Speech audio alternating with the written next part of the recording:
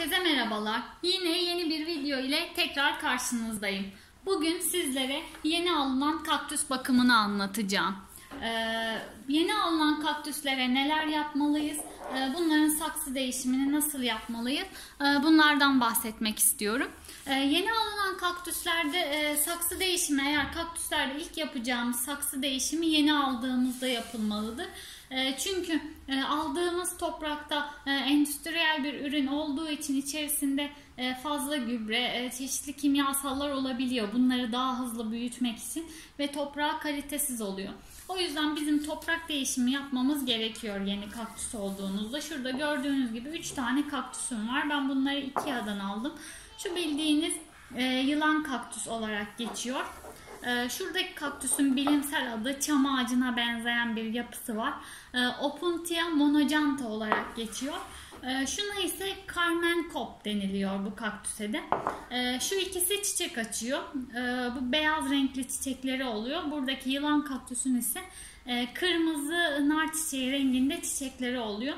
Önce yılan kaktüsten başlıyoruz. E, eldiven giydim çünkü e, dikenleri elime batabilir. Özellikle şu Carmen Cop isimli kaktüsün dikenleri elime batabiliyor. Şu şekilde gördüğünüz gibi. Bunların hepsini Ikea'dan aldım ben. E, kaktüs toprağına gelince drenajlı toprak olmalı. Bunu her seferinde söylüyorum zaten videolarımda. E, drenajlı toprak derken e, kastettiğim şey suya geçirgen toprak olması gerekiyor. İçerisine çakıl taşı koyabilirsiniz ya da özel kaktüs toprağı kullanabilirsiniz. Biraz dikkatli çıkarmak gerekiyor çünkü e, çıkarırken kırılabiliyor. Gördüğünüz gibi şurada bir tane kırık parça var. Aslında daha önceden kırılmış. Ee, aynı zamanda bu yılan kaktüsün çoğaltılması da bu parçaların ekilmesiyle oluyor. Ancak e, bu çok küçük tutmayabilir. Gördüğünüz gibi bu yılan kaktüs de yavru kaktüs zaten.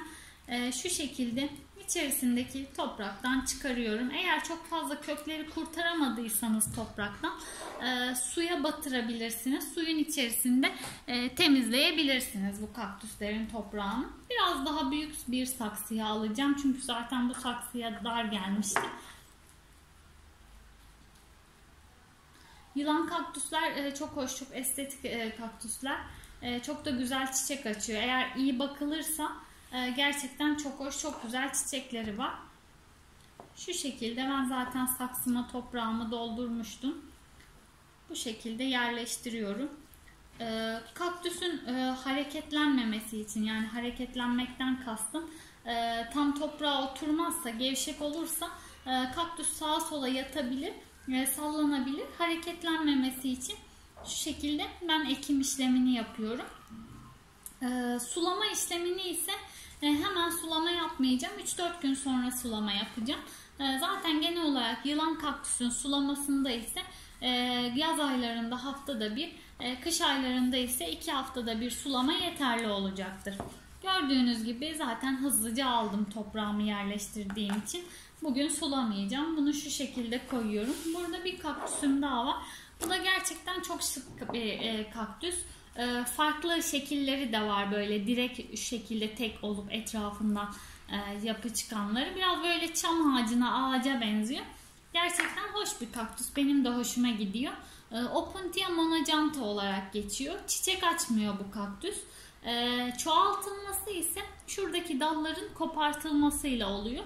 Bu dallar koparılıp yaklaşık olarak bir hafta kadar bekletiliyor. Bekletildikten sonra ekimi yapılıyor. Yine çoğaltılması ise çok basit bir kaktüs. Çok fazla köklenmiyor gördüğünüz gibi çok fazla kökü yok. Ee, kurula e, daha sonra sıcak havaya oldukça dayanıklı. Bu şekilde bunu da buradaki saksıma ayarlamıştım zaten. Ee, daha hızlı gösterebilmek hani hem de sizleri sıkmamak adına. Bu şekilde. Yine sulaması e, diğer kaktüslerde e, olduğu gibi bunun da. E, güneş alan bir yerde bulunsa iyi olur. Genel olarak zaten bütün kaktüsler için geçerli. Aydınlık ortamları sever. Güneş ışığı alan ortamları sever. Ancak yine de böyle direkt güneş ışığı alan özellikle yazın aşırı sıcaklarda direkt güneş ışığı alan yerlerde kalmasın. Mesela saat tam 12'de direkt güneşin altında kalmasın. Çünkü özellikle e, yavru kaktüsleri güneş ışığı yakabiliyor. e, direkt güneş ışığı. En azından önce yarı gölge alanda bekletilip yavru kaktüsler e, daha sonra e, güneşli alana çıkarılabilir. Şu şekilde Opuntia monajantamın da ekimini yaptım. Bir de kaktüslerinizin hani çok fazla düşmeyin. E, çünkü üzerine çok düşünce e, hemen e, büyümesi için sürekli gözüne baktığınızda kolayca büyümüyor. Şurada da bir Hindistan cevizi kabuğum var. E, şu şekilde Hindistan cevizinin bağlantı yerleri var biliyorsunuz. Şuradan bir zaten sütünü akıtmak için delik açmıştım. Bu aynı zamanda benim için bir drenaj deliği oldu. E, farklılık olmasını istedim. O yüzden e, şuradaki Carmen Kop kaktüsümü bunu oldukça dikkatli davranmak gerekiyor. E, çünkü gördüğünüz gibi dikenleri çok fazla. E, bu da beyaz renkli çiçek açıyor bu kaktüste.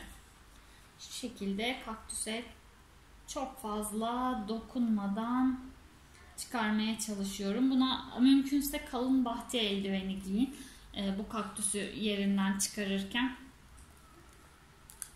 Çünkü oldukça sert dikenleri var bu kaktüsün.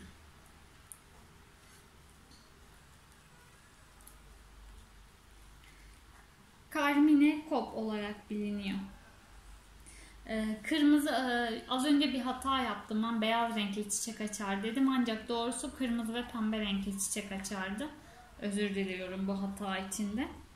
Yine bu da kuraklığa dayanıyor. Hani e, çok sık sulamazsanız dayanabiliyor. E, güneşli ve biraz gölge yerlerde e, bulunması uygundur bunun da.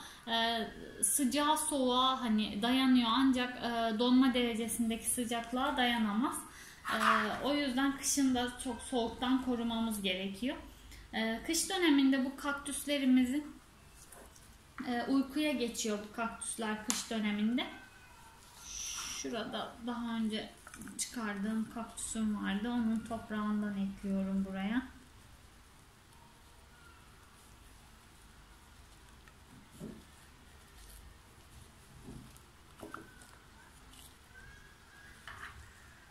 Önce şu şekilde bir düzenleme yapıyorum. Gördüğünüz gibi gerçekten şık duracak. Siz de bu şekilde Hindistan cevizi kabuğundan ya da e, beton saksılar e, bazı hobi kanallarında YouTube'da beton saksılar yapıyorlar. E, gerçekten çok şık. Onlardan da deneyebilirsiniz. Eğer vaktiniz varsa bu böyle şeylerle uğraşmayı seviyorsanız.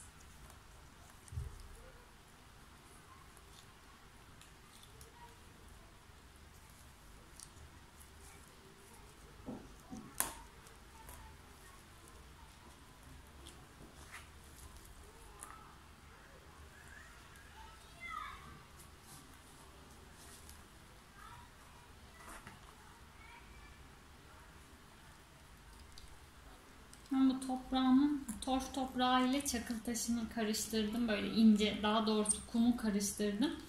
E, torf, torf toprağının içinde bazen böyle içinde köksü yapılar oluyor. Bu toprakta oldukça fazla. Aldığım toprakta hani şu gördüğünüz köksü yapılar toprağın içindeki e, yapılar şekilde. Bir de kaktüsleri ekerken e, kullandığınız saksının drenajlı olması çok önemli. Mesela şu porselen saksılar var ama e, bunları dış saksı olarak kullanabiliriz. E, direkt e, buna e, ekeceksek de eğer e, dibine çakıl taşı eklerseniz e, su doldurduğunuzda biriktirdiğiniz su çakıl taşında birikir. E, doldurduğunuz su çakıl taşında birikir. Bu da kaktüsünüzün çürümesini önler. Şu şekilde.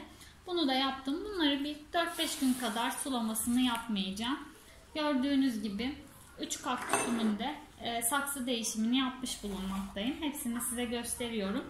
E, aynı zamanda daha önce de e, kaktüs videoları çektim. Ayrıntılı bir şekilde kaktüs bakımını anlattım. Onların hepsinin linkini de aşağıya bırakıyorum. Şurada gördüğünüz yılan kaktüsünün videosunu ise e, yukarıya bırakıyorum. Onun videosunu da oradan izleyebilirsiniz. Yine yılan kaktüsle ilgili ayrıntılı bir bilgi vermiştim. Bu videomun da sonuna geldik. Beni dinlediğiniz için teşekkür ederim. Eğer videomu beğendiyseniz beğen butonuna basıp kanalıma abone olarak bana destek olabilirsiniz. Teşekkür ederim. İyi günler dilerim.